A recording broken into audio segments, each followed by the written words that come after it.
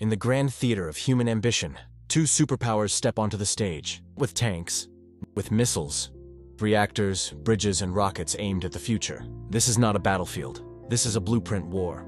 USA vs. Russia. And tonight, the titans collide. Round 1. Mastering the Atom.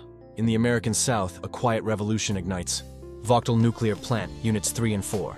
Forged through the 2010s, completed in 2024. Two massive reactors awaken, delivering 2.2 gigawatts of clean, relentless power. A $35 billion gamble, reviving nuclear energy in a world desperate for stability.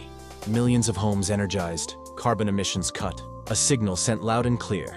America's atomic era is not over. Russia answers, not at home, but beyond its borders. Akkuyu nuclear power plant. Turkey, groundbroken in 2018. Four reactors, 4.8 gigawatts unleashed, a 25 billion investment. But this is no ordinary plant. Russia doesn't just build it, it owns it, operates it, and fuels it. Energy as influence. Atoms as geopolitics. A new model of power. Exported. Round 2, bridges that redraw maps. Across the Detroit River, steel rises. The Gordie Howe International Bridge. Construction begins in 2018. Opening 2025. 2.5 kilometers long. Six lanes of motion. 6.4 billion in precision and purpose. More than concrete, it's a lifeline. A conduit for trade, travel, and trust. A handshake of steel.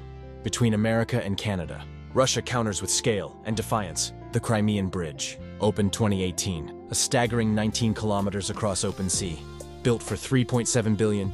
Europe's longest bridge. Battling storms. Battling politics. Concrete laid with intent. A statement that cannot be ignored. Final round, Racing the Cosmos. America looks up, again, the Artemis program. Launched in 2017.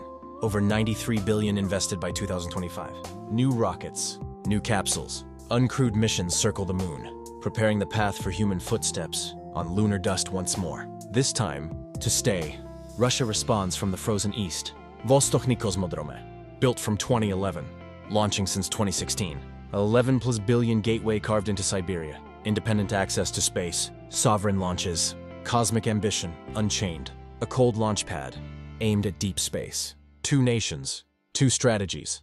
One project's power through alliances and revival, the other through reach and control. So the question remains, who shapes tomorrow?